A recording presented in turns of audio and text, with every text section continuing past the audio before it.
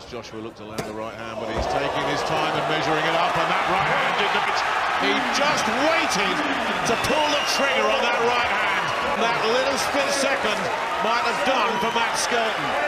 Because when it